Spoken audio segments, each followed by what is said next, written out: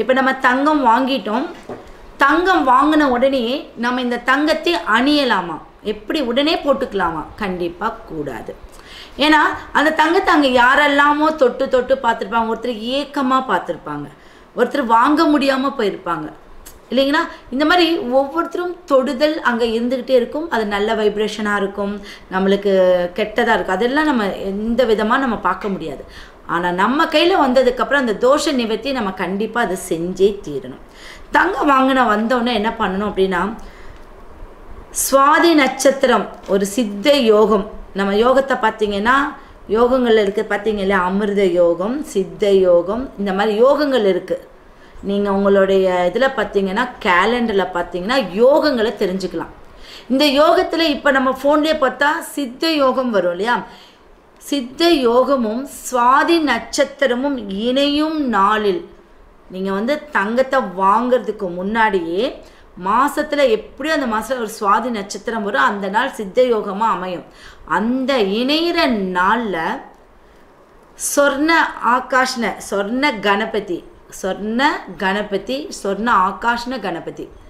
சரிங்களா? பைரவர் கிடையாது. சொர்ண கணபதி சொர்ண ஆகாஷ்ண கணபதி. இவங்களுடைய படத்தை பூஜை அறையில் வச்சு வழிபட்டு அந்த படத்துக்கு முன்னாடி தான் இந்த தங்கத்தை வச்சு நம்ம வழிபடணும். வாங்கிட்டு வந்தோன்னா அதை வச்சு தான் நம்ம வழிபடணும். புரிஞ்சுதுங்களா? எப்போவுமே நம்ம பூஜை அறையில் சொர்ண கணபதியோடைய படமோ இல்லை சிலையோ இருந்து வழிபடும் போது செல்வம் நம்மளக்கிட்டேயே தங்கிடும். சரி. தங்க அந்த வாங்கி வந்த அந்த நட்சத்திரத்தில் இப்போ நம்ம வாங்கிட்டோம் இந்த இந்த நம்ம தெய்வத்துக்கு வழிபட்டுட்டோம். இப்போ ஒவ்வொரு நட்சத்திரக்காரங்கள் இருப்பாங்க.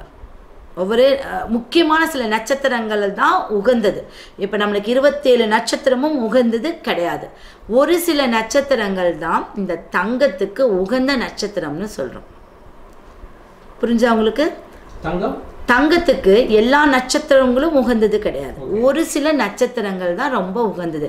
இப்போ இன்னைக்கு நம்ம போகிறோம் இன்னைக்கு வந்து ஒரு நட்சத்திரம் ஓடுது. ஐயோ இவங்க வந்து நம்மளுக்கு அஸ்வினி நட்சத்திரம் சொல்லியிருக்காங்களே. அன்னைக்கு போன நாள் அடுத்த நாள் அந்த அஸ்வினி நட்சத்திரம் வந்து அந்த நாள் போங்க.